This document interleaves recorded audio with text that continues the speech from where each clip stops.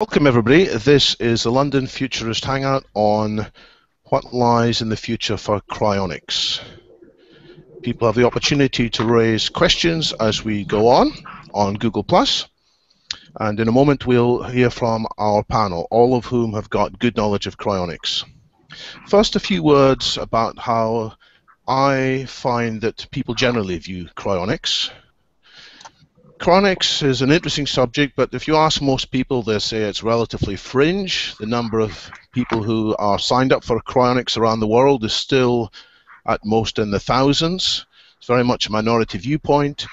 And the general perception seems to be that people who are signed up for cryonics are potentially eccentric, that the viewpoints of cryonics are scientifically implausible, it's just wishful thinking, that people who are engaged in cryonics, and again, this is the general viewpoint which I often encounter, such people must be foolish or even deluded. Now, I think all of these viewpoints are unfair, and I believe that in the next 10, 15 years, there will be things happening that will change many of these perceptions, and that's what we'll be exploring in this session. We'll be looking at why things may happen to change cryonics from being a fringe activity to being much more of a mainstream activity. Instead of being viewed as an eccentric hobby, it will be viewed as something with a lot of scientific and engineering background. Instead of being viewed as highly implausible, it will be seen as increasingly a plausible approach to ensuring continuity of consciousness over a long period of time. Instead of being foolish, it will actually be sensible. And the initial pioneers of cryonics, rather than being viewed as deluded, will in many cases be seen as visionary. Right. And that brings us back to the panelists today.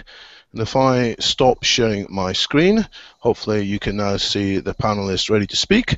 And what I'm going to do to start off this discussion before we turn it to audience questions is I'm going to ask each of the panelists in turn to talk to start off with, not so much about the future yet, but about some of their own past involvement in cryonics.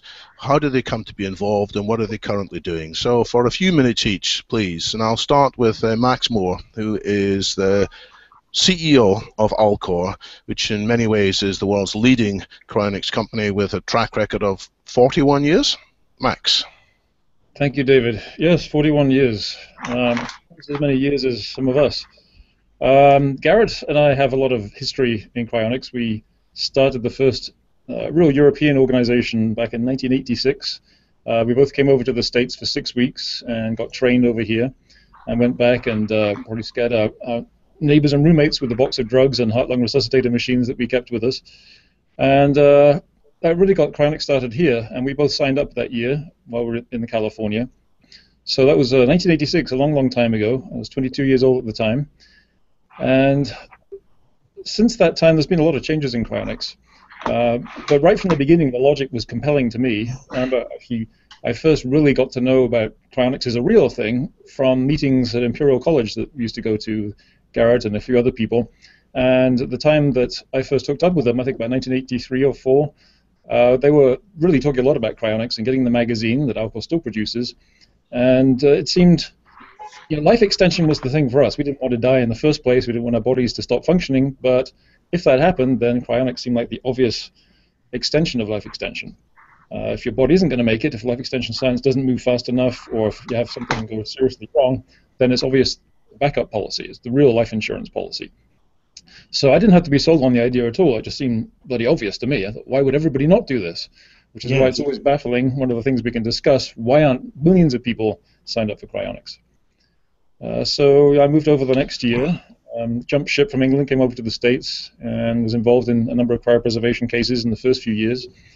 And then three years ago, um, I took over running Alcor. Basically, I'm approaching my half-century mark, and life extension hasn't moved fast enough. Not seeing enough progress, so I'm getting kind of worried. So cryonics is becoming increasingly important to me. Uh, so I agreed to take on this job. Is that the kind of intro you, you wanted? That's very good, and you've laid up lots of points for further discussion, uh, Max. Let's go to Anders Sandberg next, and Anders has also been uh, tracking uh, cryonics activities for a number of years. So, Anders, maybe you can tell us about your involvement and how you got involved. So my first uh, encounter with cryonics must have been in some science fiction stories I read as a young uh, boy.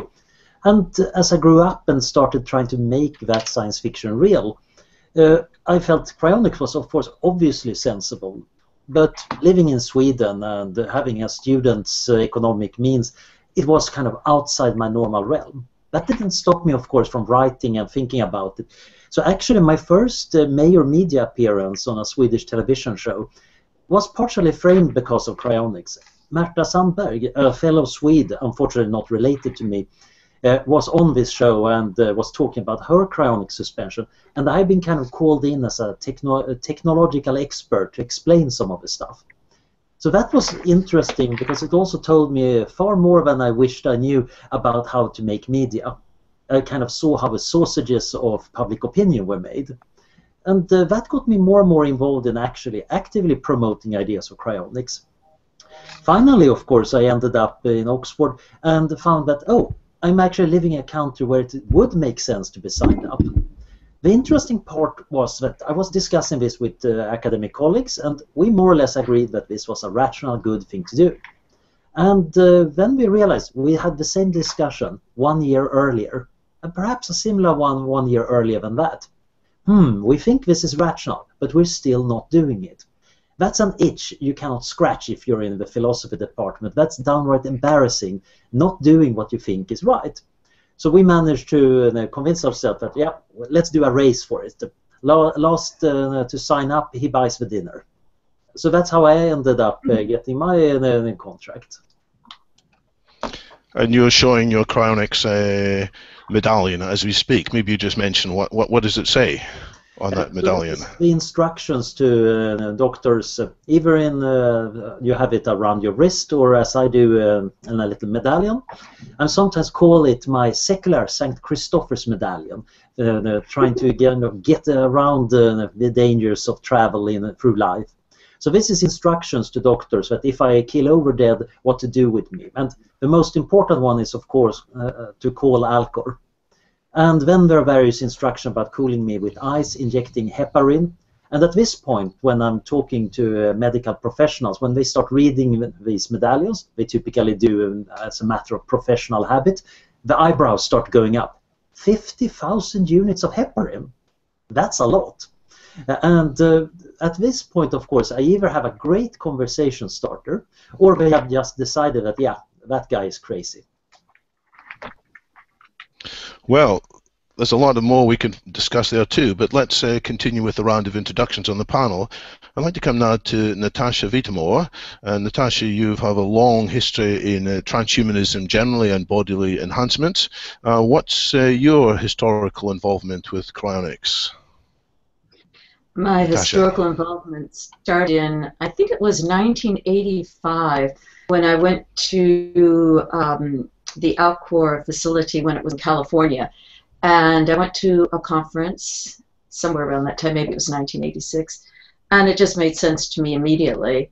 I signed up in 1991, and I've been a, a happy member ever since. Happy that cryonics is becoming even more scientifically and technologically uh, correct if we want to look at the advances that have been going on and where it lies within the parameters of advances in science and technology, as well as social change.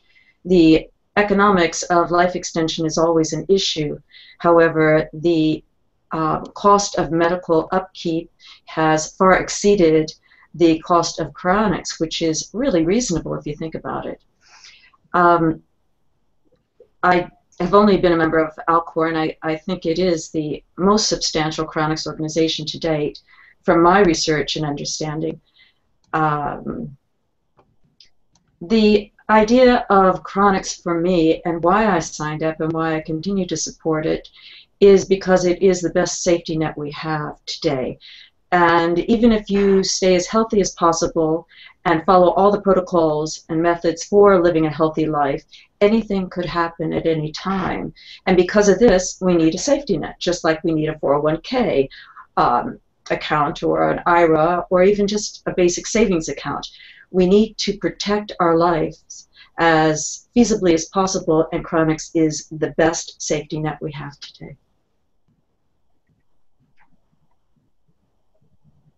Okay, uh, we may come back to that. People may think that there are better safety nets instead.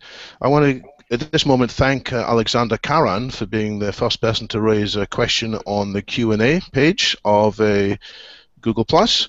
We'll come to your question shortly, Alexander. I see it's already got three uh, votes in favour of it, and it is a good question. But before we look at that, or indeed any of the other questions that people can raise or vote, I'd like to turn to the fourth member of the panel, Garret Smyth. We already heard a bit about your background, Garret, when Max was speaking, but uh, what have you been doing in the 26 or so years since you got interested in cryonics? Um, I Garret. Didn't, I didn't become uh, the I haven't had led such an illustrious career as Max, being that he's now head of Alcor. But um, well, going. I mean, I, I wanted to pick up something that, that others have already said, which was that the when I first heard about it, as I'd heard about it before, both in science fiction and uh, it was the science fiction author's daughter I heard about just on the grapevine, but not as a serious cryonics as a serious thing, until in the BBC, who I'll come back to later, did a television program about cryonics in 1980, and I just got it immediately and ran out to everybody I knew and just said, "Look, we don't have to die." Um, I mean, I, while I'd been at school um, in biology lessons, it had occurred to me that um, it was very odd that, on the one hand, uh, we we were talking about culturing cells in the laboratory, and um, they usually HeLa, I think they it's referred to the particular cell strain from a cancer that a woman had many, many years ago. And it occurred to me, wasn't it odd that on the one hand you get cancer, they go, the cells become effectively immortal and kill you, or alternatively you don't get it and you see your, slow, your cells slowly do the absolute opposite of becoming immortal and they become decrepit and fall apart and die and kill you. And our lives are this fine tightrope between ourselves going mad and killing us, or ourselves just giving up the ghost and killing us. and that was while I was at school. So when the program came on, I just knew. I thought this is just so sensible, and they thought of problems I hadn't even begun to think of, and they'd come up with solutions for them. And I just knew if I told everybody about it, everybody there'd be this massive movement. I was expecting the next day, you know, a revolution to start. And everybody thought I was a bit odd and very slowly, um, a friend of mine spotted a small ad in New Scientist, and it was an ad from someone saying, "Are you interested in cryonics? Get, get in touch." And you had a PO box number at the time that I wrote to it, and the person at that PO box put me in touch with other people, and um, eventually we had the meetings in Imperial College, and I met Max, and we joined up, and then so the rest of the question is, well, there's still some footage on some TV company archive somewhere, I imagine, of me a good 20 years ago, if not more, saying that I would, and I think it's significantly more than 20 years. I'm absolutely sure that in 20 years' time you'll get this. We won't be considered eccentric. And you know, here we are having having the same wretched discussion way more than 20 years later. So my prediction was rather poor there. Although things have moved on a lot. I mean, in those days you had, I mean, it was Eric Drexler's book just came out in 1986, I think it was, and it was the sort of first public use of the term nanotechnology. nanotechnology. Um, and of course, we, anybody involved in cryonics knew there was going to be some kind of amazing thing that was going and fix any freezing damage or, or whatever it had killed you. But there wasn't the word for it. There wasn't the in-depth explanation that he came up with. Um, and then similarly at the time, I remember telling a school friend about when it had occurred to me that we either die from our cells going mad and multiplying too much, or because they give up. And there had to be some way of keeping them in control, and then we would live very, very long lives. And he just thought, and I, he was my the best shot at someone I would trust to uh, unburden myself of this thought. And he just laughed at me wildly um, and told me what an idiot I was. Um, and anyone I mentioned anything like that to and talked about longevity and life extension, until I started meeting the people at the, uh, in in the common room at Imperial, um, everybody thought it was utterly lunatic. But now it's such a relief to see you know, people like Aubrey de Grey and the SENS meetings, and they are actually seriously regular talk in the media of things that extend lifespan. And I mean, that is such. It's no longer having to persuade people to believe six impossible things before breakfast. So, um, how would well? The, is that enough? Well, that's uh, that's a very good start, Mark, uh, Garret. Uh, it is interesting the fact that many technological changes take a long time to come into fruition. I remember 20 years ago, people were predicting every year that the next year would be the year of the LAN network, local area networks, and it took quite a few years before networks did become uh, common. Uh, about 10 years ago, uh, people were predicting soon that we'd, uh, next year would be the year of location, that phones would have built-in uh, GPS systems, and that took quite a while to take place as well. And it was the same with uh, tablets, tablet computers, which were shown for many years at computer events, and then finally they were dominant as a result of the breakthroughs which were made by the iPad. So. But my question I'm going to raise back to the whole panel now uh, is what do you think is going to be different in the next 10 years from, say, the last 20 years? What's going to mean that uh, there's going to be more attention paid to cryonics? Can you point to any changes in the science and engineering in the medical world, or can you point to other changes which are going to make this more credible? And let's go around the panel in the same order as before, starting with uh, Max what will make the big change in perception of cryonics is really hard to say. You know, some people have thought that getting a celebrity to endorse it would make a big difference, and I guess it might it might depend on who the celebrity is. But I think really more powerful is it's just a slow, gradual shift in perception from a number of different perspectives. One thing we've seen change in the last couple of decades, for instance, is when we deal with hospitals, hospital administrators, the risk people at the hospitals, uh, the doctors and nurses. 20 years ago, generally, with rare exceptions, they'd be pretty hostile or resistant to us doing anything in the hospital. And ideally, because we like to position our equipment right there next to the patient, um, so when legal death is declared, we can go into action. Uh, but they weren't very happy about that in the past. Now, almost always, they're pretty cooperative and even eager to help. They kind of want to hang around and see what's going on, offer to help as much as they can. That's a real change, and I think that's partly because they're seeing the science advance. They understand a bit more that there are now several dozen kinds of tissues that are being cryopreserved and rewarmed. Um, and in principle, actually, there are people walking around who were cryopreserved, except at the time they were just uh, you know, fertilized egg or sperm. But there are many, many kinds of tissue that have been cryopreserved and rewarmed. So people get the idea that, well, this is obviously not completely crazy. I'm not sure how you do a whole organism, uh, but uh, the basic science seems to be there. Plus, they're seeing uh, medical professionals see people donating organs. They see that the initial processes involved in, in donating organs is very similar to what we do. Uh, you know, you're cooling the patient, you're using various drugs to uh, reduce metabolism and to prevent things going wrong so quickly while they extract the organs. And they see us doing very similar things with our 16 medications and rapid cooling. And really, how is donating your body or your brain radically different from organ transplants. So I think they're beginning to see the parallels and how it fits into regular medicine. So it's not quite part of regular medicine in their mindset, but I think increasingly, and increasingly I try to communicate it this way, cryonics is not some strange different procedure. It really is just an extension of emergency medicine. That's all we're doing. We're stepping in when today's doctors give up and saying, give us a chance to stop things getting worse. So I think as we continue to push those parallels and explain it from that frame, I think it will become more and more accepted. Uh, and you know, we'll be pursuing many other improvements along the way too to reduce the damage that we do in the procedures. Um, let's uh, add one of the questions from the audience into the discussion now, because we're just touching on it. When Yisar has asked, were there any successful reanimations of animals after cryonics freezing?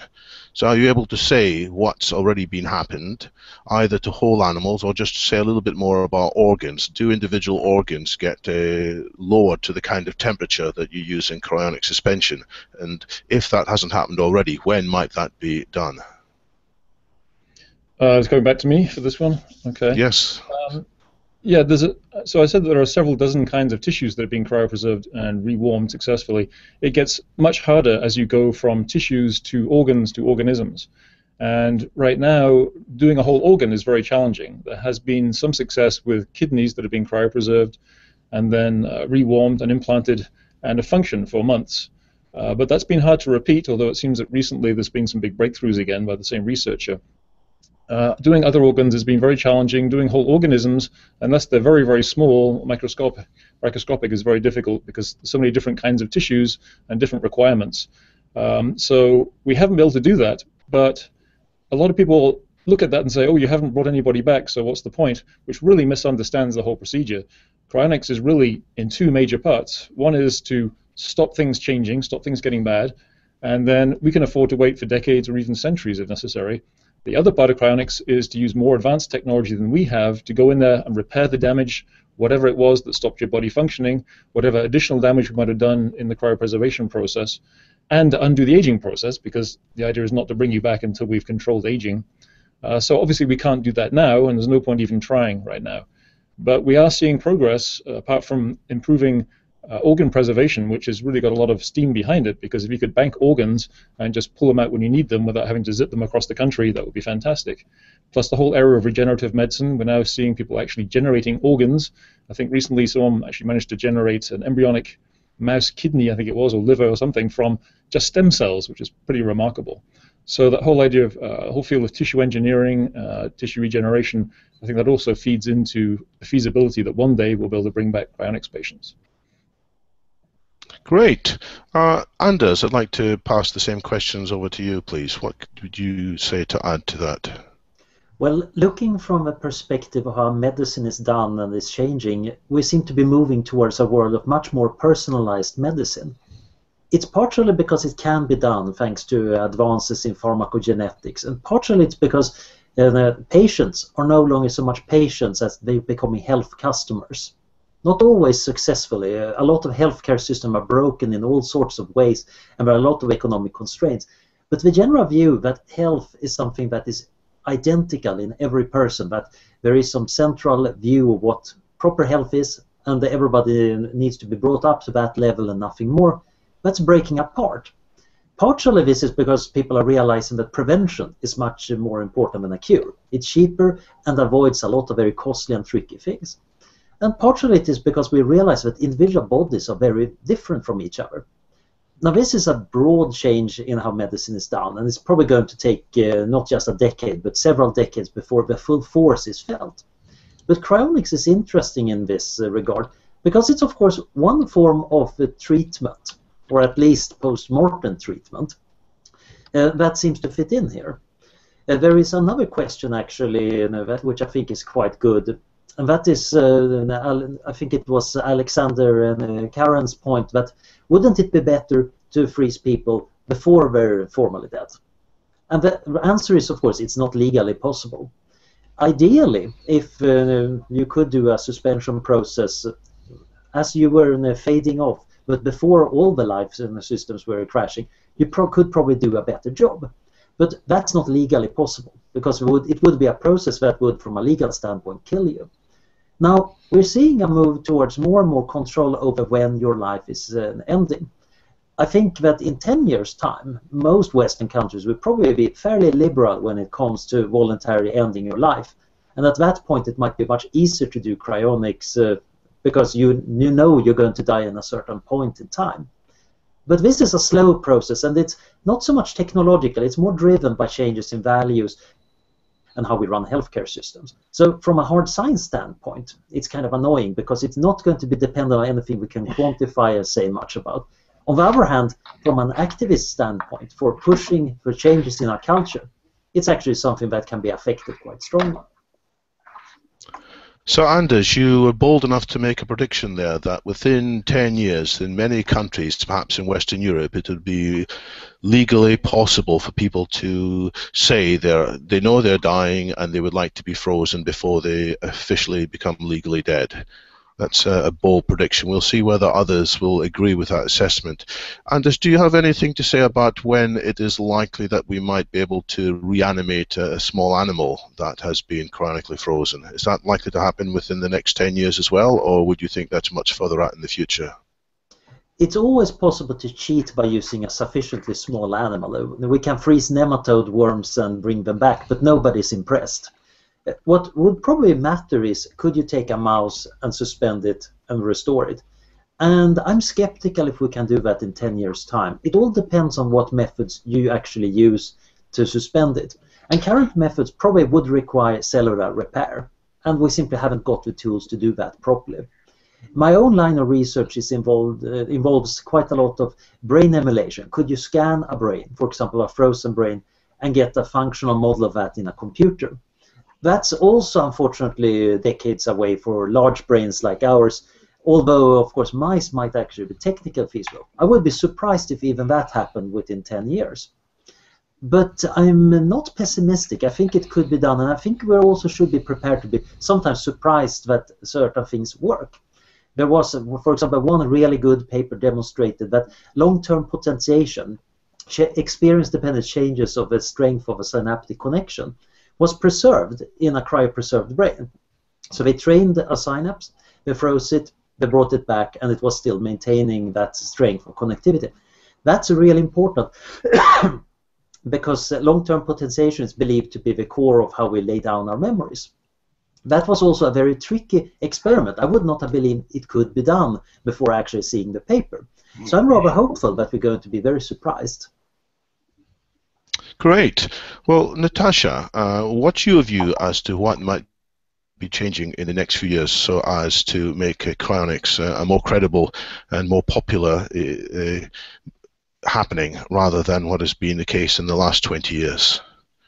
I think it needs to be approached on a twofold basis. Number one, we need more research, uh, not only at Alcor, but at a number of different facilities where students and uh, scholars come in and are exploring um, different projects that deal with not only cryonics but life extension. For example, I'm working on a project with Alcor and my H Plus lab, which is looking at something that Anders just mentioned, the nematodes. I'm working with C. elegans to look at um, their behavior before, during, and after vitrification and freezing, uh, and looking at their uh, reasons why this particular life form is used so often. It is. It's the only life form that we have today, uh, which uh, DNA has been totally uh, decoded.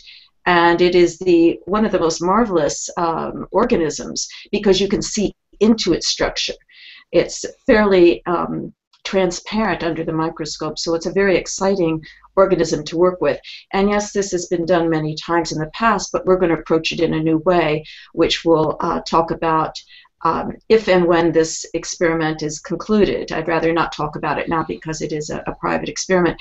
But this is what I mean that those of us who are working in biodesign or in the sciences in labs uh, and devoted to cryonics need to look at where we can bring in our own fields, like mine is design, into the area of cryonics and explore what we can do. So we need more researchers, we need more scientific papers about our research, with scholarship, of course, but also with visual images and um, daring projects that fall into scientific research and follow the protocols, but also are daring. Um, so I, I, disagree with Anders where he states that the nematode is almost inconsequential when it gets to um, looking at life forms that have been vitrified or frozen. I think this is one that needs to be explored a little bit more thoroughly, and I hope to do that. The second part of where I see this, this area going in the next 10 to 20 years is in culture. Just today, um, I'd like to refer to an article that was in the New York Times, and it's by a um, well-known New York Times columnist who's also a bioethicist and um, self-named probably philosopher, but he's looking at aging, and he's been doing this for some time. His article today is is really quite shocking because he's writing about on dying. It's on dash dying dash after dash your time. So it's on dying after your time. So what he's saying is when our time is up, it's up. How dare we prolong our time and die after our card has come up and said this is our dance card to die. Um, but you know, looking at him as just one person who's who's a social um, um, counter. Uh, he's been writing about this since the 1980s, and he's even written a book about um, his uh, offense to the defense coming online to him. Uh, the earlier book was Setting Limits Medical Goals is an in an aging society, and then he did a rebuttal to the, the complaints about that book. Now, the complaints were basically about his intervention, and they were before their time. If we look today, now it is time to have this social challenge and this at this ethical issue about life extension. Um, he quoted in 2013 in another one of his New York Times articles our society cannot and should not promise open-ended, progress-driven medical care that is indifferent to costs. So he's speaking about this as an economist, philosopher slash bioethicist. And I think that we can argue that the cost of cryonics and the cost of life extension is has not gone up to the cost of medical care. And why do we have high costs of medical care? Feasibly because people are not taking care of themselves at the level they can take care of themselves by a healthy diet, healthy exercise. With obesity um, growing exponentially in many countries around the world, I know in England, in London, I, I saw it when I was there last, as well as in the United States, it's become a bit of a habit and maybe a pandemic.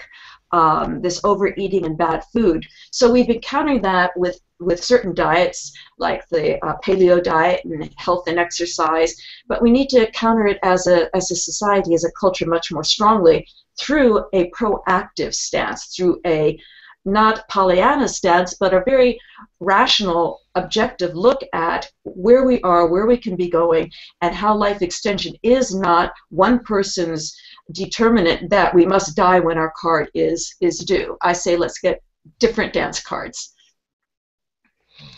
Let's get different dance cards. Great. Well, uh, and we can expect that the different dance cards will come in part because more scientists are daring to do some experimentation which is relevant to this, and gradually there'll be a change in opinion about what is possible and what's not possible. Hmm. Garret, would you like to, Garret, could you comment on these questions and if you have any views as to what's likely to be different in the next 10 years from the previous 20 um, years, say? Yes, I, I wanted to um, pick up the, the business of the background cultural change um, because when I was first involved, and, and as I said before, it was very hard to persuade anyone that there would be significant progress in life extension, and now, of course, that's fairly well accepted. Um, people would constantly quote whichever section of the Bible it is that says three score years and ten, 70 years. It was like average lifespan in the 80s. And basically, people were saying, well, when your time's up, your time's up, which is a way of another way you can put that round another way, which is I can't be bothered to think about this.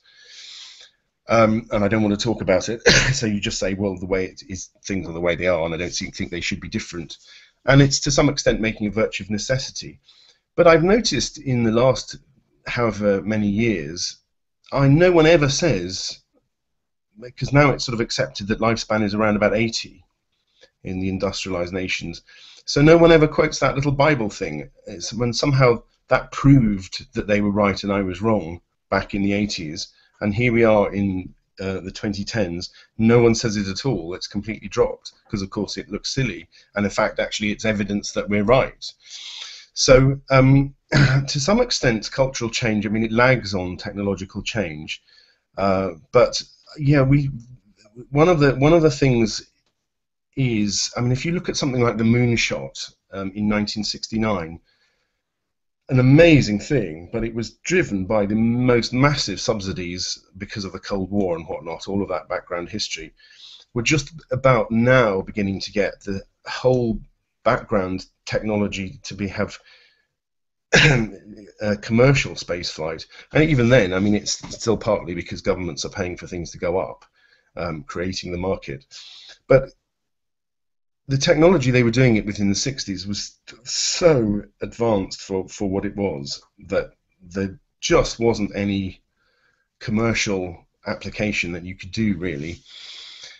Um, I mean, one of the encouraging things, enormously encouraging things now, is that I was talking to um, someone who'd been at University Singularity University and there's a spin-off from it called the Organ Preservation Alliance that are attempting to get a sort of an X prize for organ storage for doubling the time in organ storage.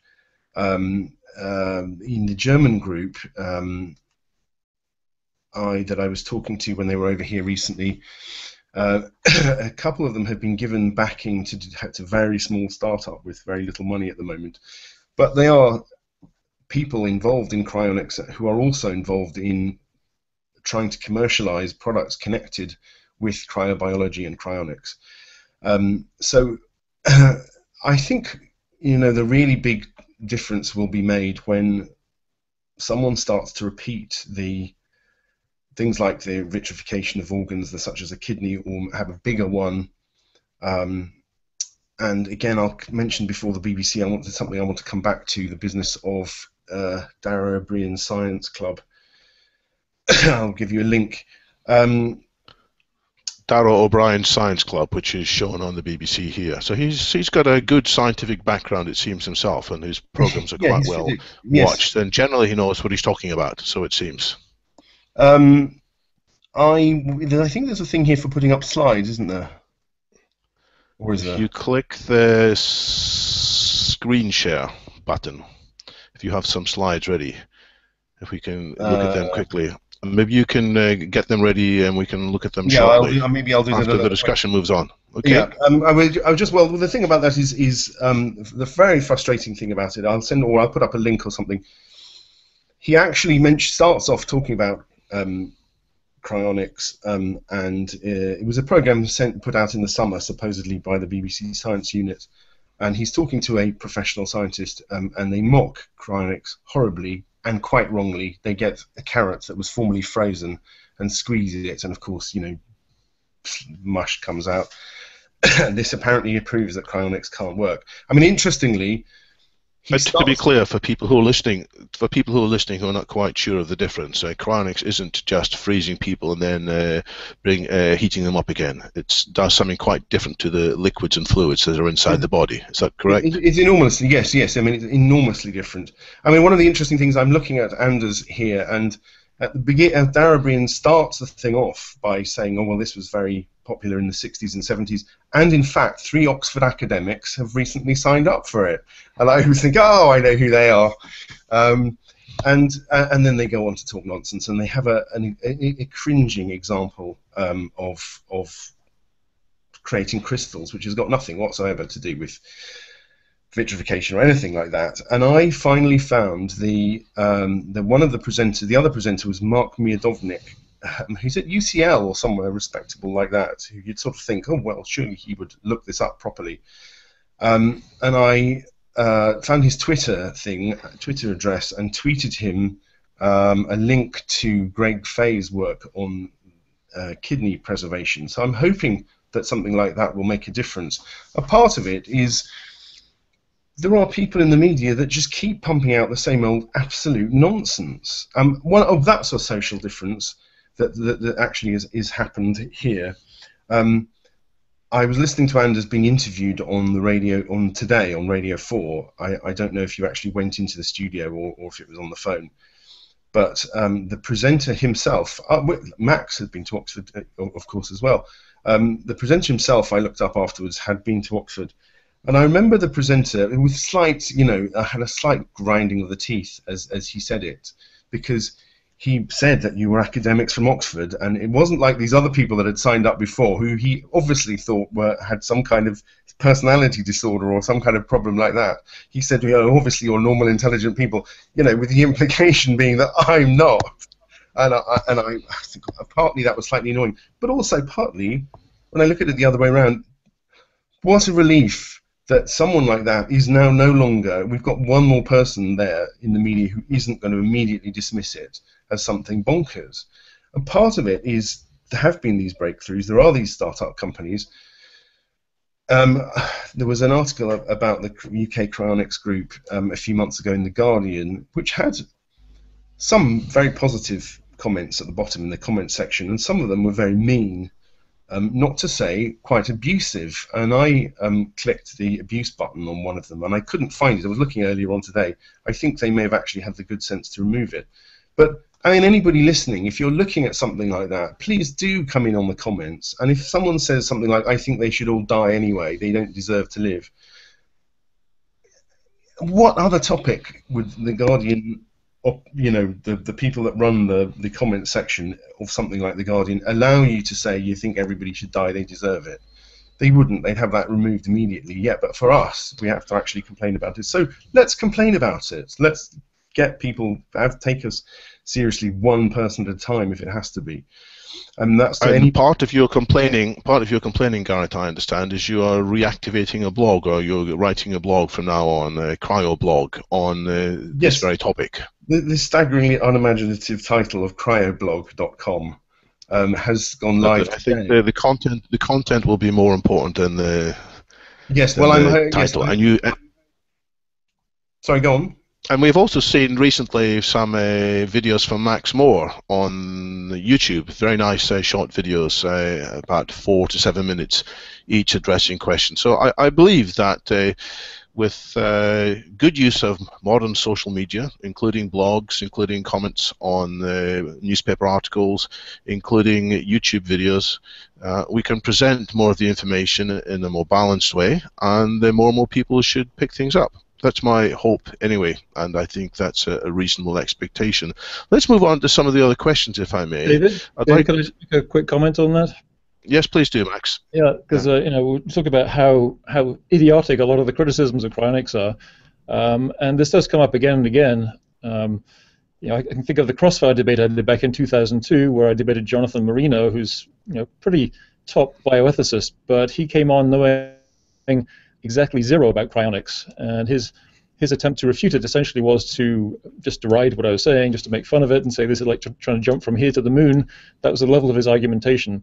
Um, and more recently, if you look around YouTube, and you'll see I'm about to do a response to this, Michio Kaku, who presumably is a pretty smart, oh. intelligent fellow, does a lot of popular science shows, he has the most staggeringly stupid criticism of cryonics. He obviously has not bothered to do his research, just like all these other smart critics who think they already know everything about this topic, but they're actually doing any research. So he's talking about freezing things and ice growing inside the cells and expanding and blowing them up, which is just not what happens. Even if you don't cryoprotect, it's not, not accurate. Dara Ó Briain said that as well.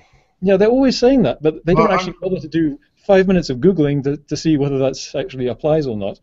Uh, and by the way, for those who don't know, go look it up. What actually happens, unless you drop temperature very, very rapidly, what happens actually is water leaves the cells um, and ice formed outside the cells.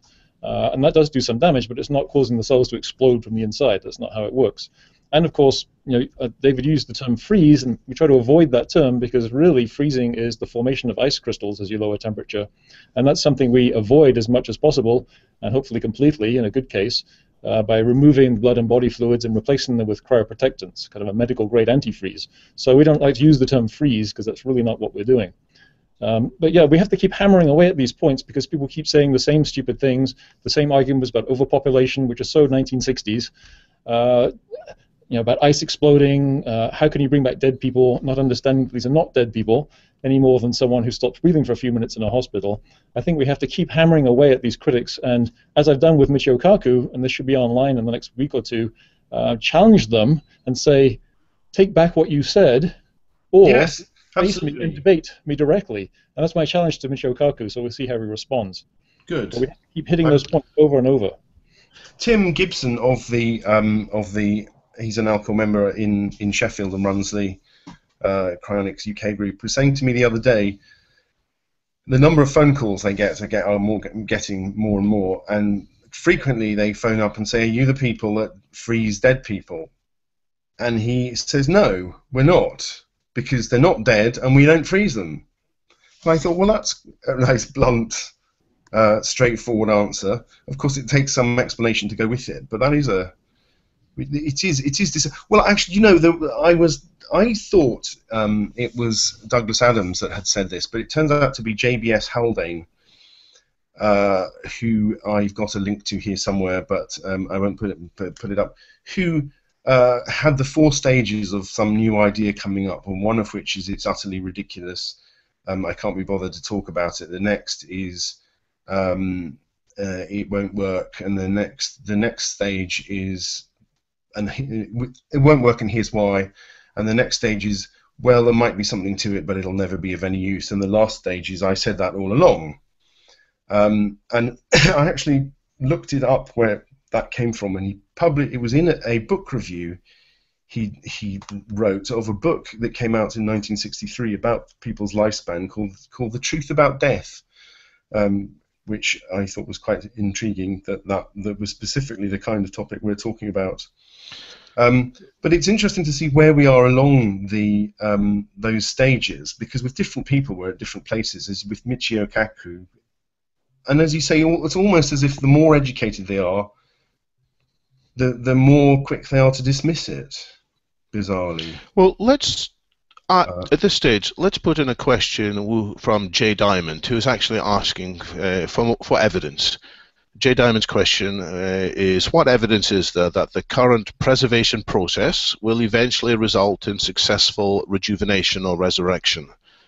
So we're saying that people who are critical of this often don't get the point. But uh, let, us uh, who would like to address this question?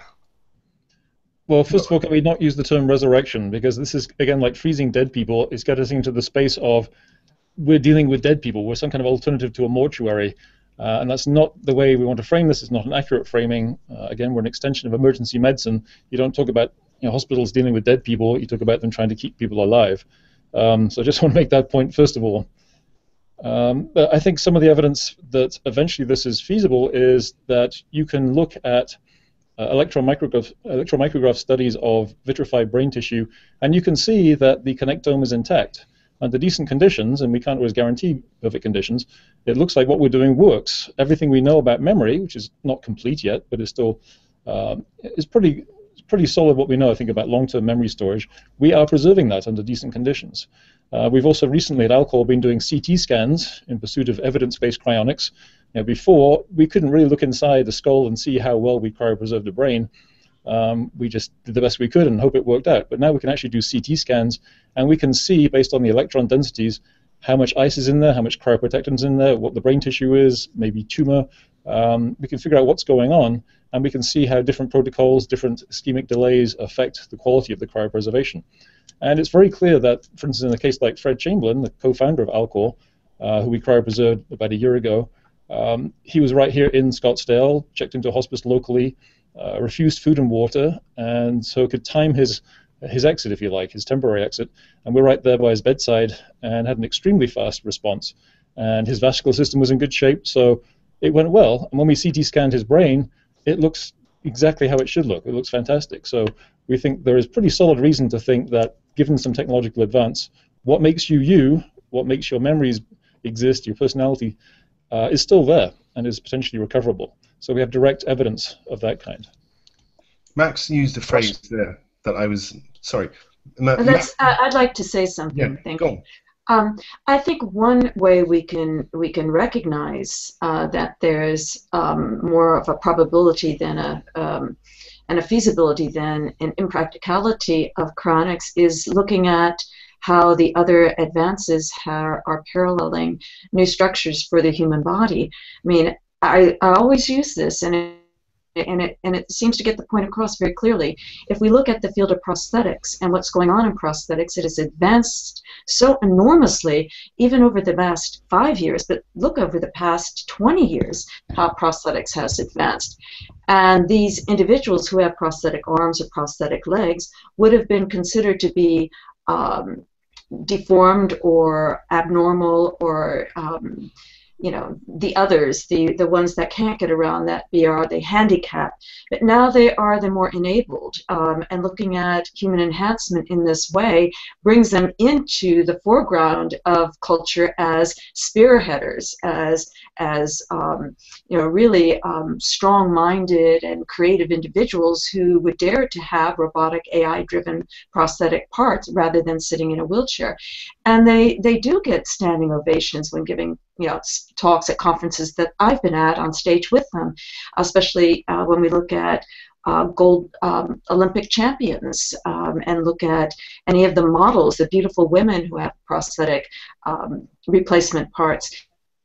So we're seeing where society is becoming more accustomed to looking at those who have overcome these very obvious odds. If we could parallel that with overcoming the very obvious odds of death as being, you know, those being brave hearts and being, you know, strong individuals and setting an example, I think that would would help steer the um, the realization that this is occurring.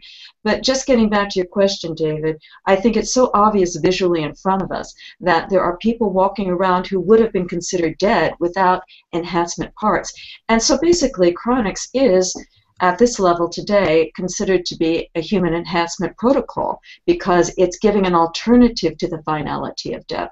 So I just wanted to toss that in there because I'd like us to, to get a little bit outside of the attitude of cryonics and learn the terminology here about vitrification versus freezing and partial death rather than final death and take a look at how people can look at cryonics as a possibility when considering prosthetics and different body types based on the medicine of stem cells and prosthetic parts.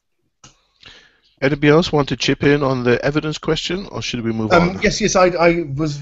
I'm very encouraged to hear the. Uh, well, obviously, I'm biased. I've known Max for years, but I'm very encouraged to hear the leader of Alcor using the term evidence-based cryonics, um, because the difference really um, I, and here's here's the problem. I think that ultimately, when Ev Cooper and uh, Robert Ettinger had the idea, or independently came up with the idea of cryonics in the was it well it was published in the early 60s.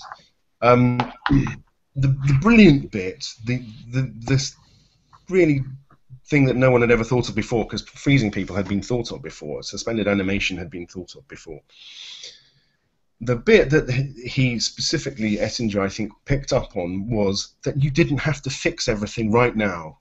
That technology will move ahead, and even if we do some damage when we're freezing people and we don't know how to cure what they've died of, at some point in the far, if be it distant future, they'll find a way of doing it. That was the brilliant step that was added that no one had done before. The problem is that's also I mean, the seeds of its cryonics destruction are in that step as well. The problem with that step is it allows people to not do evidence-based cryonics, uh, and as so much of it historically has been like that, because people will just say, "Oh, we can always fix it in the future." And to a regular person who isn't a visionary or eccentric, or however you want to call us, they just look at it and think, oh, these people aren't really, you know, this isn't going anywhere and it doesn't work, and they're just all saying one day something magical will happen, and they just view it as being something magical. Um, and that's partly, I think, why we don't ever catch on in big numbers. Um, but I mean, it's so encouraging to know, for example, that patients are being CT scanned and that kind of thing. So we are beginning to build up evidence, and we can see what we're doing right and see what we're doing wrong and as I said, just it's such a relief to hear that the practice of evidence-based cryonics coming from evidence-based medicine, uh, that it's being done. So thank you. Yeah. If I could just add to that, just briefly, David. Um, that's you know I'm really pushing that a lot at Alcor. There are other things we can do. We can, for instance, do biopsies. Although this is controversial within the membership, so we have to sort of explain first of all how, how we do this and why there's no damage involved um, and get members to agree to it. CT scans, I think, we're going to do as a default procedure unless anybody objects, because it's incredibly valuable. Uh, there's a lot of other things we could do to gather more information. You know, we, we have high definition videos of the surgeries, so we get feedback from our medical people on how we've done and how we can improve things. We're measuring as many variables as we can. So and as much of that as possible, we make public. Obviously, not videos of surgery on patients, but as much as we can, we put out there in case reports. I think it's really important for us to be as public and open as possible, uh, so that people, you know, can look inside and don't think we're weird. Uh, and what does the biopsies show? Well, we haven't what is the benefit of doing biopsies? It would be tell you something about how well you've got the uh, perfusate into neural tissue or into the spinal cord, for instance, um, to look at actual you know, direct evidence of how much ice formation, whether you've eliminated it completely. Um, there's other things we can do, so I'm really encouraging our research people to weigh in on what can we do without slowing down the process. How can we get more information about how well or not well we're doing? And rather than try to hide any shortcomings, I'm saying, well, let's just face them and see how we can improve things going forward. Okay, let's look at the question that uh, Lena Chen, sorry, Lena Chi has asked. Uh, she asks, if I sign up for cryonics preservation, how do I know that my body will not be unexpectedly discarded, affected by unpredictable events? it seems like there can't really be any guarantee for a procedure like that. Who would like to respond to that question? Well, yeah, there's no guarantee of, of anything that's uh, highly experimental. If you had experimental heart surgery or experimental cancer treatment, there's no guarantee that it's going to work, that it won't have side effects. So that's certainly true. However, we can do a lot to minimize the risks that something will go wrong. Uh, for instance, at Alcor, we have the Patient Care Trust Fund, and when you're cryopreserved, a big chunk of the money you've paid us goes into that, that fund, and we don't touch that uh, for operations. We use that only for your indefinite upkeep. And I think it relates to a question that someone else asked about, is there a specific time frame that you can store someone? And the answer is no. The idea is that we're funding this uh, for indefinite care. So we only use the earnings on those funds to pay for upkeep, for the good nitrogen, dewars, and other direct costs. The capital should actually keep increasing over time because we try not to draw more than about 2% a year, and that should be sustainable for a very long time. So you know, we do our best to think very long term. Um, you know, we're not a for-profit organization. We're a tax-exempt non-profit that seems to be generally have better longevity. Um, and we think of other risks. You know, how can we safeguard against unlikely events. Any event is unlikely in one year, like an attack by some you know, religious fanatic for some reason. Uh, but wait several decades and it might well happen. So we always try to think about what could we do to reduce those kinds of risks. Uh, what happens if we have World War III and there's no liquid nitrogen available for uh, more than six months? It will become a real problem. Well, we have backup plans for creating our own liquid nitrogen. Um, so no, there's no guarantee, but uh, we think very carefully and very hard about how to keep people cryopreserved for the very long term and the actual cost of storage isn't that large because it's quite a it's a stable thing. It doesn't require lots of machinery running around. It's a, a quite a small amount of space that's occupied by each person. Especially if you're a neuropatient, um, which case you know, we can store 10 times as many neuropatients in the same volume as a whole body patient. Um, but yeah, it also depends on the efficiency of the containers, and there's quite an art to engineering these things. Uh, it is very quite a lot over time. Uh, but we figure that uh, you know to generate that two percent, we're currently putting 115,000 of the 200,000 for whole body patients in the patient care trust fund, and I think for neuros it's about 25,000. Uh, but we're always looking for ways to reduce that cost by changing the configuration of, of the dewars, thinking about alternatives, improving the performance. Um, yeah, the actual cost for neuropatients is pretty small, but you do have to pay for not just liquid nitrogen. The dewars probably will last decades, but also you know patient care. People have to check on it, uh, alarm systems, rental space. So there are various expenses like that. But you know, compared to any major surgery, this is an amazingly inexpensive, a really good deal, I think. Mm-hmm. I mean, Anders, I'd like to bring you in on this probability question because I know that you spend a lot of time thinking about risks and probabilities. So, how do you assess the probabilities and likelihoods that uh, cryonic suspension may be the best approach forwards compared to some of the other approaches that people talk about? Well, For example, there's a suggestion further down here about why don't we just do the brain plastination, which is a different kind of approach altogether that people like Ken Hayworth do. Uh, so, how do you assess what uh, technology is likely to be effective in uh, this kind of uh, long-term clinical care? And uh, what odds do you put on it? Is this a kind of a one in a hundred chance that you're taking, or is it closer to 50% or higher that you would evaluate it? When I was considering whether to sign up for cryonics or not, I did this mental calculation, but what's my life worth to me? And then I started comparing that to the monthly cost of uh, paying the life insurance that would pay for my uh, contract. And I realized that even if I believed it was just one chance in 60 that cryonics could work, it would still be a good economic deal. Now, you might disagree here on my probability estimates or how much I value my own life. I might be unusually narcissistic, perhaps, but it still made sense to me. And it's an interesting problem how to make good uh, reasoning under radical uncertainty. Because I think the problem for cryonics is that it's based on reasoning about technology that doesn't quite exist yet. In fact, it's about technology that we have very little clue about in many cases. We understand the suspension process to some extent, but the fact that evidence cryonic, uh, evidence-based cryonics is still such a young area, that's a little bit discouraging and worrying. We have some ideas about how we might be getting out of dewars eventually, but again, they're based on rather strong extrapolations of our technology. What we can do, however, is we can compare risks and try to see which ones are orders of magnitude larger than others. So it seems like in the case of being suspended for a long time, eventually, sooner or later, some bad event will hit you. Because there is a finite probability of something bad happening every year, even if it's very low.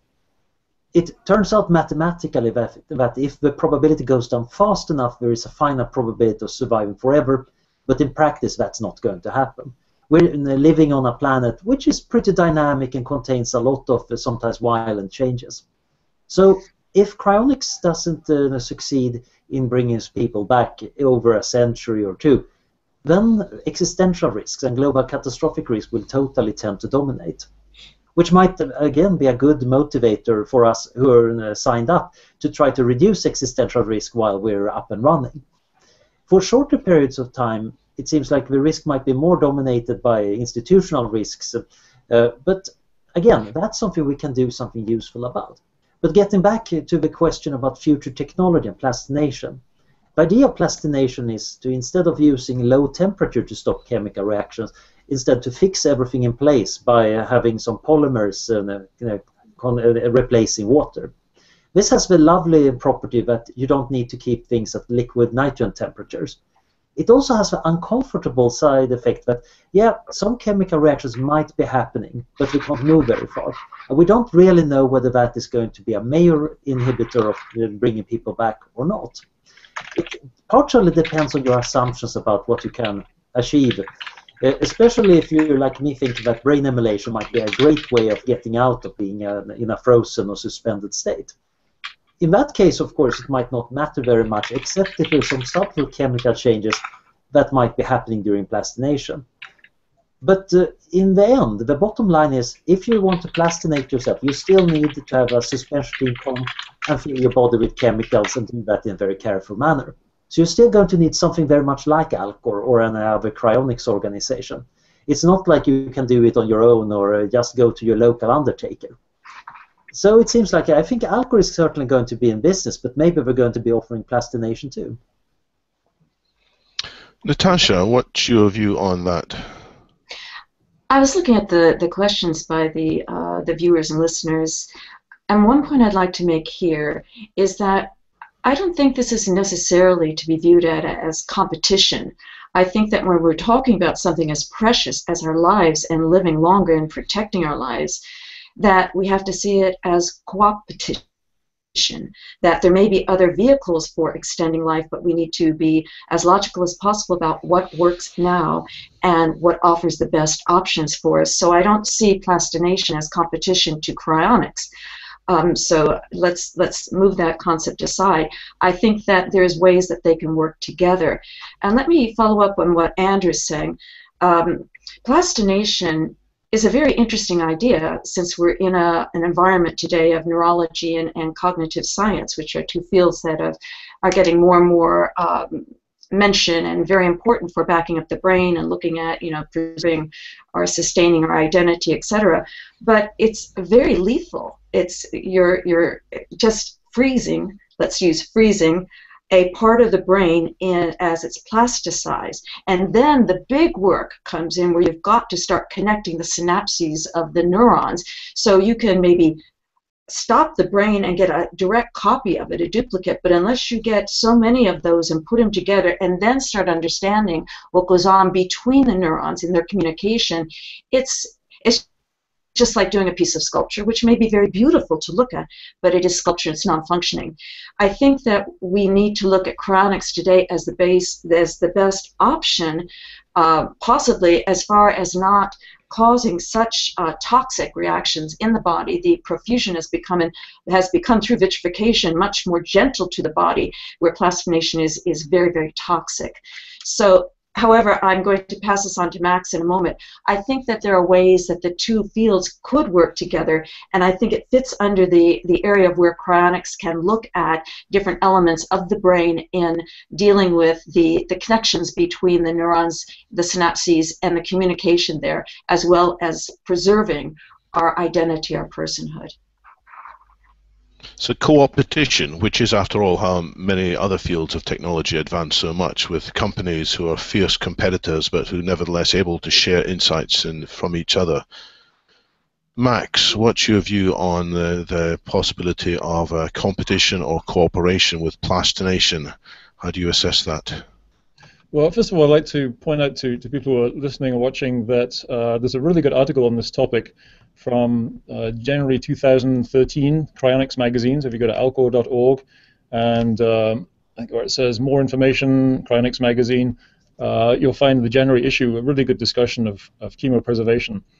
Um, yeah, there's no no real exclusion of chemopreservation at Alcor. We could do this. What a lot of people don't realize is doing that successfully is very complex. It's not just a matter of you know dunking a brain in a bucket of chemicals and letting those uh, find their way in there. It's actually a very complex process. It requires the same kind of emergency response that we do for cryonics. There's no good waiting for several days before you try to get some uh, uh, plastic resin into the brain. You've got to get moving very fast. And um, it's actually a tough process. The way it's done right now involves some pretty toxic chemicals, um, you know, much more problematic than what we use in cryonics. So it really require a massive effort to make this even remotely workable. Uh, the problem also is that getting resin into the brain, uh, all the way into the brain, is not very easy. Even with a mouse brain, it apparently takes a long, long time during which chemical reactions are still going on, metabolism is still proceeding, things are deteriorating. Um, and if you multiply that to a human brain, you know the time scale zooms out enormously, um, and you probably never actually get all the way into the brain. It, will get stuck in the outer ring of the brain. So it's going to be very hard actually to get a, a human brain properly fixed. Um, however, if somehow those problems could be overcome, Alcor would be in an ideal position to offer that service. It was a proven method uh, because we have the standby teams, we have those emergency response uh, protocols in place. So if it was a viable method, uh, we would go you know, we offer that as an alternative or addition to what we do. And just whilst we're on this uh, topic, uh, uh, Max, there's another question on this by Calum Chace, who, as you may see, he says he's intrigued by your comment that you can actually see that the, the connectome, that's the brain connections of the patients, is preserved. How deeply do you actually scan the patient's brains? Can you go deep without risking damage? And I, I, know Calum is particularly interested in this. I think he's written a novel in which uh, scanning of the brain is uh, a major research interest of at least some of the key characters in the novel. Um, Anders can probably comment on the you know, technical aspects of these better than I can, but I'd like to clarify that there's two different kinds of scanning going on right now. Uh, CT scans are what we've been doing recently. That doesn't tell us anything about how well we're preserving things at the micro scale.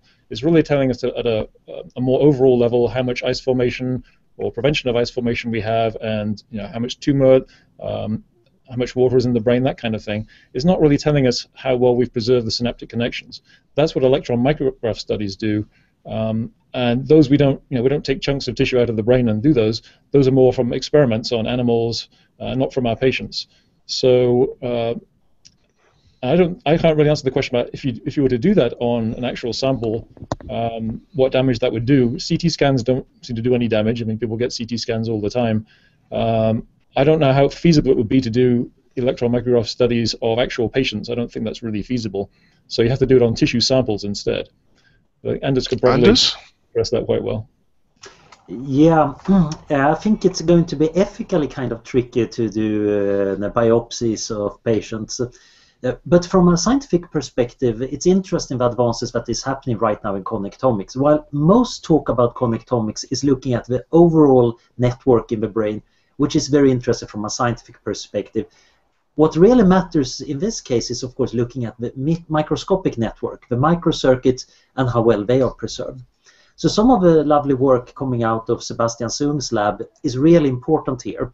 He's working on the retina, which might perhaps be something that uh, ethically could be removed from a, a frozen customer, but I think uh, more importantly, it's a good test subject because there is both scientific interest in figuring out exactly how it works and is well constrained. We actually know the science. So the method he's using to trace neurons in about five years or so, I would expect that they're fully formed. Right now, it's very early days. Then once we have those methods, we're probably going to be able to apply them to really test how well cryonics has worked. In the long run, of course, the big question is if you believe in a certain uh, versions of personal identity and whether software can be conscious, maybe you could be re recovered from your connectome. Not everybody would agree on that. The list of philosophical and scientific assumptions is enormous uh, if you want to believe that. But still, the practical thing of using this to test the practical methods of uh, cryonics seems to be really worthwhile. So actually having good ways of checking the connectome that might be developed both as a result of current connectomics and the Obama Brain project, which is also kind of starting out. So we might actually see some really amazing tools here for checking the integrity of the patients. So the new tools may be available which will give us greater insight fairly soon as to what's actually going on inside people's brains, whether they are suspended or not. Garret, you wanted to say something on this as well, I think? Just on plastination versus vitrification.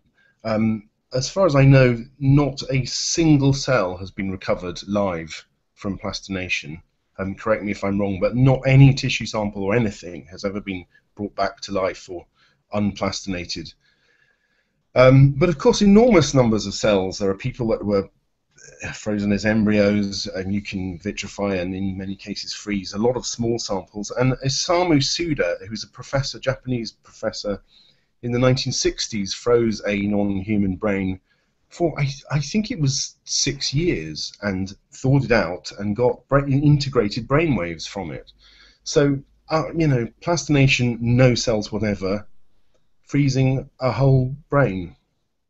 Which one? But isn't the uh, isn't, isn't the method isn't the approach different? It's not trying to reanimate the brain after it's been plastinated. The idea is to copy it. Uh, plastinate well, to keep it, keep it alive. You must. You've probably done an awful lot of damage.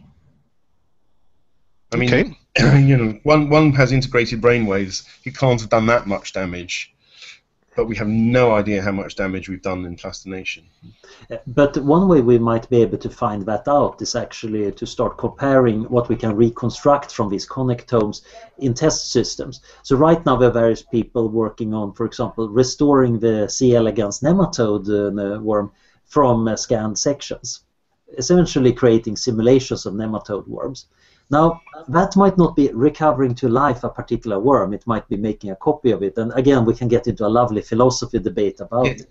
Yeah. Uh, but I do agree that uh, the freezing approach, um, you have everything original there, and uh, it's not hopefully not changing very much. Plastination introduces a lot of very new variables we know very little about. And that is a good reason to be cautious about it. Okay, we've been having a, a fine discussion here. Uh, I was pleased to hear that Alcor said that uh, if there are new technologies which become proven and become more in demand, then some of the same care facilities would be able to be adapted to include these as well. Uh, let's move on to the last few questions. We only have about 15 minutes left of the time allocated. There are at least four audience questions which I would like to try and get the panel to comment on. The one with the highest number of votes is by Jack Stringer, the one that we haven't looked at yet, and he's asking about the costs. He is saying that it's still quite expensive to go full body cryonics. Uh, what chance is that the cost uh, will come down? Uh, in the next 50 years or even, even sooner than that. So who would like to answer the question of costs? And Max, I think you have a video in which you look at the question of whether cryonics is just for rich people. Yeah, currently it's actually rather more affordable than many people realize. Uh, simply most people hear 80,000 for neuro, 200,000 for a whole body and say, oh, forget about that then, not realizing that they can use life insurance to pay for it. And that's pretty cheap if you're a young, healthy person. Um, it has gotten more expensive over time, but I think that's partly because uh, at Alcor we really transformed from a very volunteer organization in the early days to a much more professional organization. And that you know, that produces an increase in costs as you make that transformation. But we've already reached that stage pretty much now, so I wouldn't expect those kind of cost increases to go on in the future. And if we can grow, and this is kind of a big challenge for me right now, if we could double our membership, we could do so with the same number of staff that we have. We could have 10 times as many members with probably a very small increase in staff. That would bring down the membership dues greatly, so we really could achieve economies of scale. Now, could we reduce the cost of other aspects? That would be tough. Um, you know, we have some very good procedures now for standby and stabilization and transport, and there are real costs involved in doing that. It would be hard to get that down a whole lot, I think. Storage, I think there are some possible ways of reducing storage costs further, and we're currently discussing that. Um, but really, I think the operational costs can be brought down through economies of scale. So I think that that will happen if we can grow. So please, if you're watching this, sign up, boost our membership numbers. You'll be saving everybody's lives by cutting costs and making it more affordable. And yes. that's how many other industries, of course, have worked, isn't it? The industries uh, cut costs when they're able to achieve scale, and often the costs can come down in unexpected ways simply because there's more people involved, more brains involved, more, more companies participating. So success breeds success. Yes, can I add um, to that? Um, of course, economies of scale would make a huge difference, um, as it has with anything else. So, so so I'm making a plea to people to join up. And if you're a transhumanist out there, you've been watching this, you watch a lot of the transhumanist stuff and, and are involved and all the rest of it. I'd like to tell you a short a short story about a very religious man who used to he felt that he should win the lottery. And he was a very pious man and he did a lot of very good things and he used to go into the church every day and say, Look, I've done I spent a whole day doing good things. Please God let me win the lottery and eventually God decided that he was a very, he was his best, one of the best people on earth. He'd just done so many good things, um, and he even knew that if he won the lottery, the guy would probably spend that on charitable events, of it. And God decided, okay, I'll let him win the lottery. So the man was there praying that night in church, and he praying away, saying, "Please, can I win the lottery?" And he heard, hears the voice of God booming down to him from above, and he says, "Of course, my son, I will let you win the lottery, but you must do one thing first. And the man said, Well, what is it? What is it? Of course I'll do it. Tell me, tell me. Before you win the lottery, you've got to buy a ticket. and um, listen, economies of scale would make a difference. If all of the people watching here today would buy the damn ticket, it would make it cheaper for all of us. And we'd have more money for research. So buy the ticket. Thank you. Very good. Good, good story. Good story. Are you a comedian in, in, in your spare time, Garret? I I did at one time try that. Yes. it seems to be there's a there's a well-known academic in in um, in Oxford that used to do that as well. Indeed. Well, we, won't, we won't talk about him. I, I, can tell you about some of Anders. I'll tell you about some of the material he used to do at some stage as well. You'd be quite surprised doesn't he? You okay. wouldn't. Well, let's let's look at another objection to signing up. No, no. Let's look at another objection to signing up. This is an objection raised by Rebecca Cron in her question. She says, if your family has no interest in taking part in the Cryonics project, uh, are you plotting a future life in which your current relationships will have no meaning? Uh, doesn't make sense for individuals to sign up by themselves without the support of their family. I, I think uh, it does make sense, but uh, it's a bit like traveling abroad without your family. It's not going to be uh, as enjoyable, and you might indeed lose out on something. Uh, I, I kind of feel the, about this since I live apart from my family who are over in Sweden of course, it's much easier for me to just go on a plane and visit them than if I've been suspended and now ended up a century in the future away from them. But this is not an argument against cryonics. It's rather an argument uh, for getting your family members to sign up.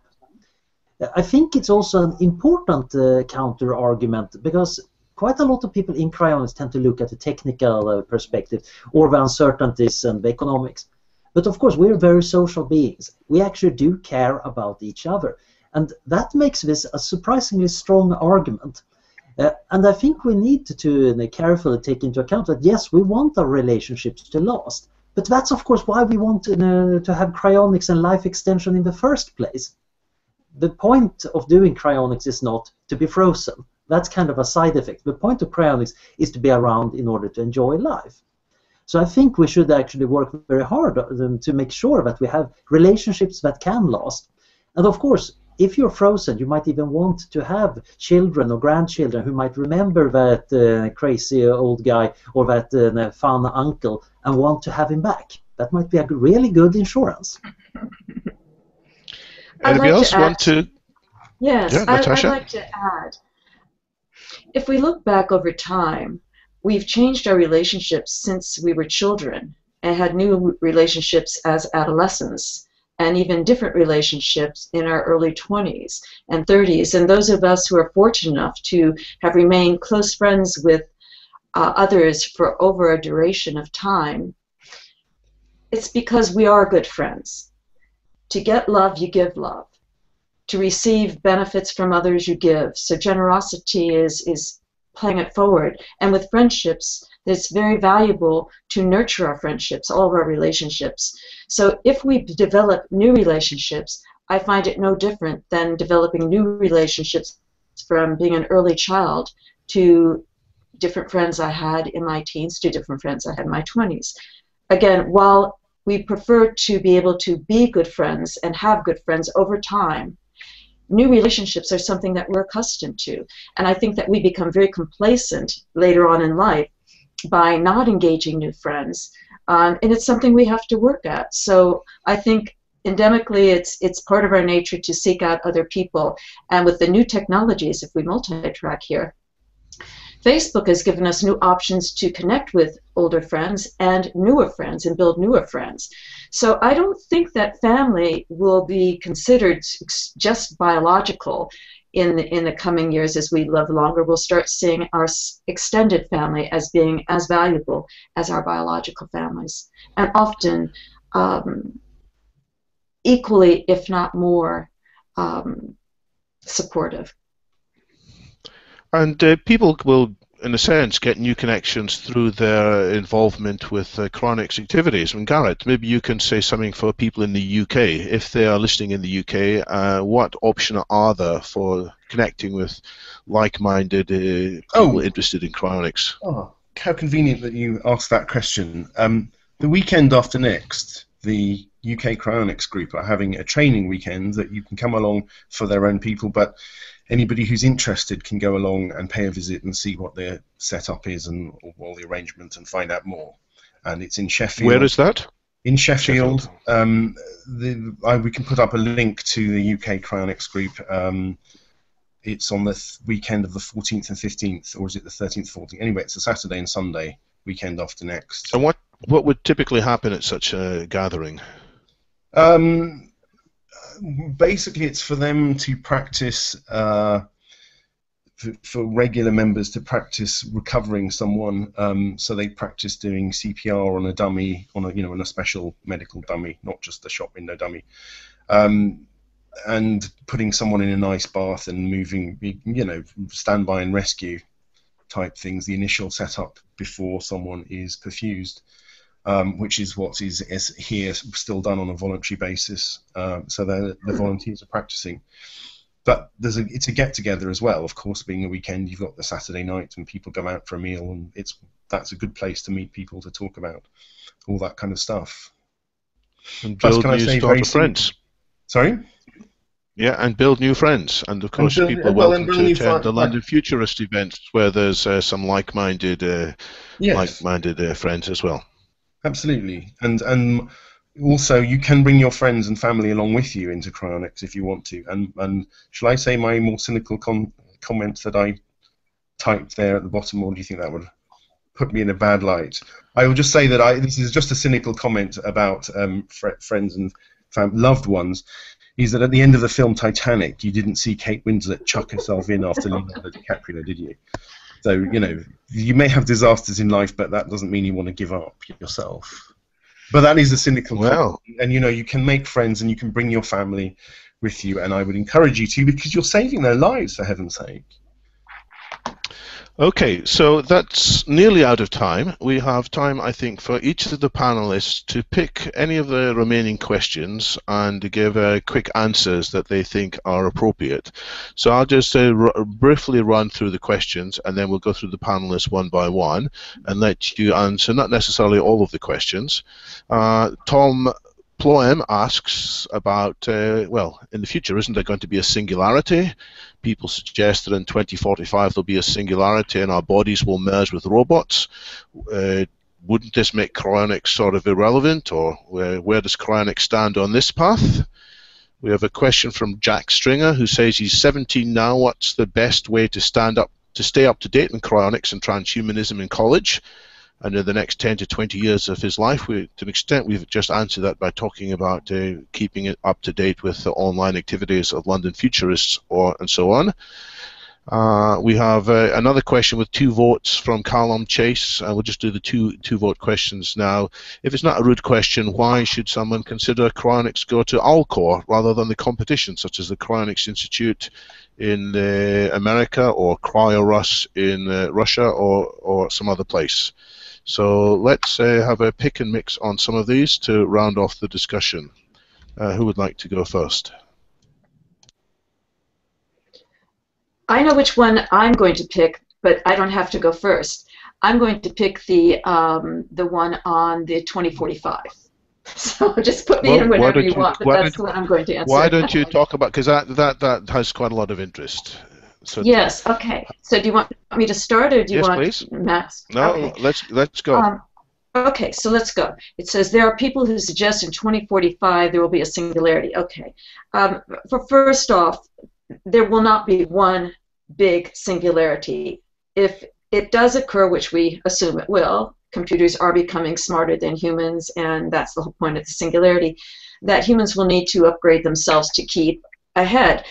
Um, thus, my extreme interest in human enhancement. So, we don't have a date on it. Uh, Max More says it'll happen in surges. I tend to agree with that. I'm sure Anders would agree with that as well. I don't know where Gareth and David stand on it, but probably not one big fell swoop. So, um, okay, so our bodies will merge with robots. Our bodies are already merging with robots. I alluded to this earlier uh, in this panel discussion about human enhancement and prosthetics and how it relates to cryonics. That if we're um, suspended, that we will probably need a new body anyway, if we're a neuro suspendy or a whole body suspendy, we will probably need a new body. Thus, uh, my work is dealing with looking at a whole body prosthetic for radical life extension. The fact that robots could enhance with AI and become a nemesis for humanity, I think, is something that we can look at, but not something that is truly plausible because, in my view, we will become the AI or AGI. So I think we have to look at who we are, what's going on in the other areas, and how we're going to continue enhancing ourselves to protect our species and the evolution of our species. Thank you. Um, shall I jump in quickly? The uh, this 2045 thing, I always thought the singularity was in 2030. When are they well, moving? It's been mildly postponed. Sorry? It's been mildly postponed. no, oh. 2030 was FM 2030's date. Um, Ray Kurzweil never said 2030, and nor did Vernor Vinge. It's just a hypothetical date, 2045. I, I, um, but I worry that again, I worry that it keeps slipping back. The same way that I. It's going to keep slipping back. It's going to keep slipping back, and eventually it will come. But in the meantime, we need to take alternative uh, steps to look well, after ourselves, and we need alternative steps to uh, guard against uh, uh us uh, dying uh, too soon. Well, it would be marvelous, wouldn't it, if, if someone found that if Audrey uh, Aubrey de Grey found the solution to aging and we didn't need cryonics at all. I mean, or you know, we have wouldn't that be fantastic? And we'd have always still not going to work. We still need new bodies. We still and, don't want to be in a biological body. You know, it's it's that would be lovely, but I mean, it would be fantastic if that happens. But I'm cynical about that happening in my lifetime. Um, and can I answer the guy that's 17 saying, what's the way to stay up to date? Well, obviously, there's all the web stuff you can stay up to date on. That's not a problem in your early 20s think about getting some life insurance. You don't have to make it out to any particular organization yet, but get it while you're young and healthy, while it's cheap. Um, get whole life insurance. Um, and who knows, we may have, it would be lovely if Alcor, with enough people join, as per my previous plea, um, might be big enough to have several branches across the states and, uh, and have you know storage facilities in different I think it has to be globalized. Um, this obviously is going to require a lot of money and a lot of members. Um, but uh, wouldn't it be marvelous if we had local storage facilities? I mean, by local, I mean in different countries or different states in, in the US. Uh, obviously, that's a long way off. But it, well, it depends how many people sign up in the meantime. Uh, with no. scale, more things are possible. If we all uh, just hedge our bets and hang back, then there isn't the scale and momentum to make this transformation possible. Well, that, that's true. And uh, when Max and I joined in um, 1986, I remember coming back and talking to other people in England at the time who were thinking about joining up.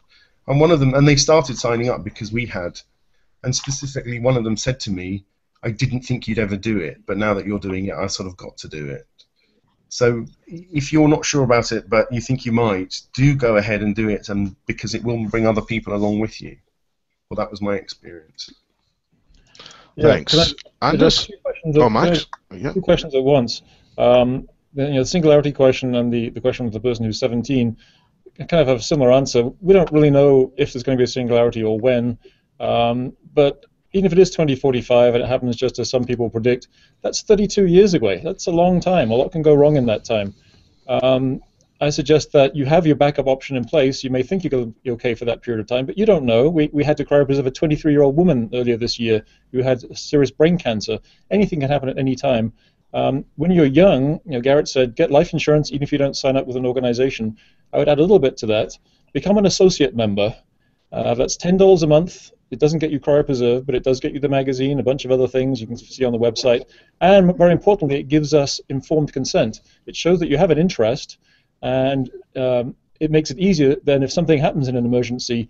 If you have life insurance ready, we could then move ahead and probably get you signed up very, very quickly. Whereas if we have no record of your interest, we run into problems of uh, informed consent and resistance from the family. So please at least consider becoming an associate member um, and get life insurance while you're young and insurable because you may not be insurable 10, 20 years from now. That happens to a lot of people. Uh, so that's really very important to do. And what about the question from Calum Chace about uh, uh, why would people pick one cryonics organization rather than another? And obviously, you're a bit biased to answer this, but maybe you can follow your previous habit of being quite uh, balanced and level level-minded in your answer. Well, the most important thing is to make cryopreservation arrangements uh, with somebody.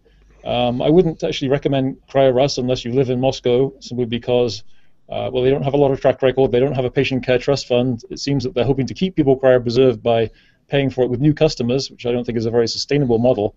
Uh, Cryonics Institute's been around a long time. Uh, they cost less than Alcor. Uh, they have less sophisticated procedures, I would argue. Uh, we have, I think, better cryoprotectants. Uh, the cost of cryopreservation with Alcor includes standby stabilization and transport, whereas with CI you have to make separate arrangements for that, and it'll actually end up costing more if you're happy to be a neuro patient with Alcor. Um, generally, CI is relying on the future to fix more damage, whereas Alcor's approach is really to minimize the damage we do now, because not only do we not know what future repair capabilities we have, we don't know what kind of condition you'll be in to start with. So we need to minimize any extra damage we do in the process, especially any delays uh, until we begin the procedure. That's why I think standby is a critical part of it. Um, but yeah, the most important thing is sign up with somebody, or at least to get that life insurance in place now, because you may not be able to get it later on. Anders, any final thoughts from you? Well, I'd like to combine the question of Eric Driscoll with the question for Charles Ware. I don't think opposition to cryonics comes from a primarily religious source. Rather, people have various biases and views which we then express using a religious symbolism if they happen to be religious. Otherwise, we will invent some other rationalization. So we need to kind of work hard on getting through these biases. And I think cryonics is actually not at all about copying out and leaving the, the future to solve all our problems. It's actually taking the future seriously we want to be in it. We want uh, to make sure the future is a good place where we might want to enjoy living. Which means that even before we're suspended, we might have to work very hard on making sure we go in the right direction. Well, thanks very much for that, Anders. I think we are out of time. What I would like to do at the very end of this event is just uh, briefly recap on a couple of things that's going to be happening next. Uh, we've had today this uh, panel with uh, the future of cryonics, we have another number of uh, hangouts lined up. One of the hangouts that's lined up is in the beginning of January. It's when we look at some related questions uh, as covered by the very interesting author Ramez Naam, who has written a number of books, uh, some of which are fiction, some of which are non-fiction, and uh, he addresses enhancements that could happen in the near future in terms of understanding how minds work and how minds cooperate. So uh, I suggest uh, you might find more details about that. Uh, sorry, I'm just fiddling with my slides here, trying to get the right slide back. We have a number of panelists on that, including Randal Koene, who is the chief scientist for the 2045 uh, initiative, Michell Zappa, who is a futurologist based in uh, Brazil, and Giulio Prisco, who is based in uh, Hungary. And uh, all four of them have got fascinating things to say on that topic. Looking slightly further afield, I would like to briefly mention one more event, which is actually an in real life event in uh, Birkbeck College in uh, London, which will be happening on March the 20th and sorry, March the 22nd and 23rd. In which we've got uh, 18 speakers from around the world speaking on a range of topics, all with the big theme anticipating 2025 what might be the visions for uh, how to get to 2025 successfully, bearing in mind all the potential issues in society uh, between now and then.